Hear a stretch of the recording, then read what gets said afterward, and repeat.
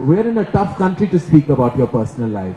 Uh, I don't, and I feel very sad about it because uh, being a public figure, you're expected to kind of helm a certain movement, talk about freedom of expression, which is the biggest joke in the world, I believe. Um, democracy is the second biggest joke, I think. Uh, I, I really think that what, what, how are we democratic? I mean, how is there freedom of expression? I'm a filmmaker and I feel bound at every level. You know, be it like to do with what I put out on celluloid or what I say in print.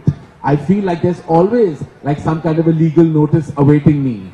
Uh, you know, everywhere I go, I'm scared. Like I'm scared I'm saying something in Jaipur, I don't know who'll file a case when I get home, you know. And uh, so I've become like like uh, like some kind of an FIR king now. I mean, literally, I mean, it's all happening around me. I'm still like, uh, we finally won the national anthem case, which was 14 years ago. Uh, two days ago, I'm finally, I no longer have to apologize for putting the national anthem in my film in an emotional, proud manner.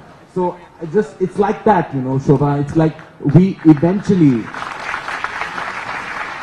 we eventually have to say what we have to with a so much clever policing. Fortunately, language is a great thing. It makes you say things and yet not.